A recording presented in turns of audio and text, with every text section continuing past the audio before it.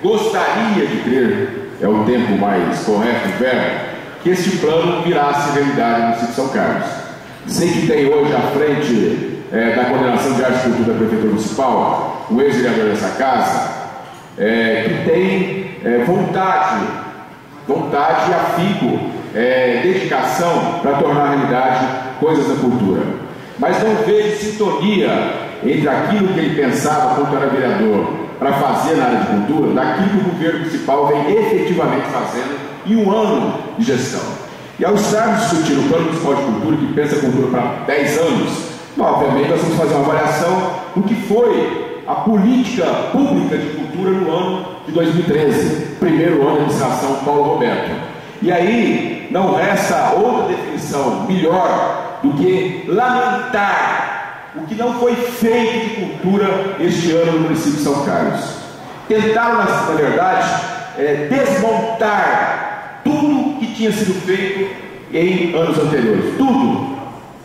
Tudo. Até a falta de autonomia da própria coordenação de arte e cultura do município de São Carlos.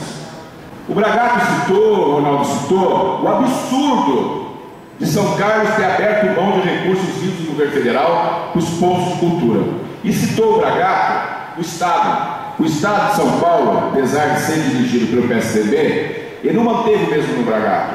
Ele ampliou, quase dobrou o número de pontos de cultura a serem implantados no Estado de São Paulo em parceria entre o Estado de São Paulo e o governo federal.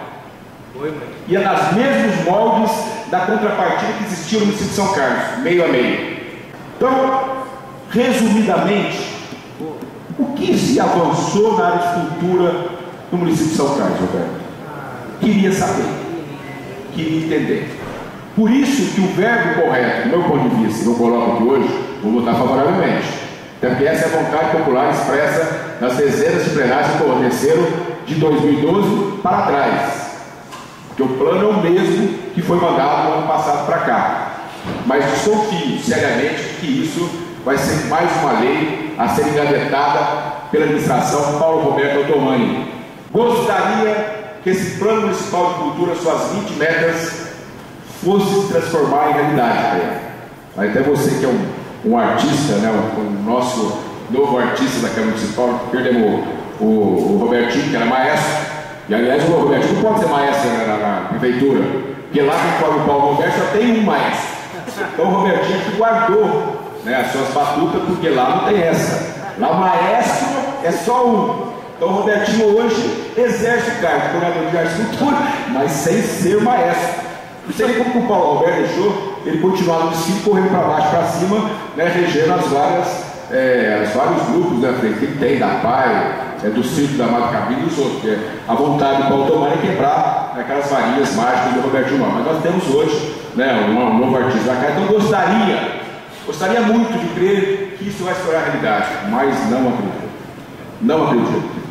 Porque esse governo, na prática, este ano, não fez nada pelo Pelo contrário, desmontou, desmontou algumas atividades que tinham, que já tinham celebração pública, na verdade. Jornal DBC Web.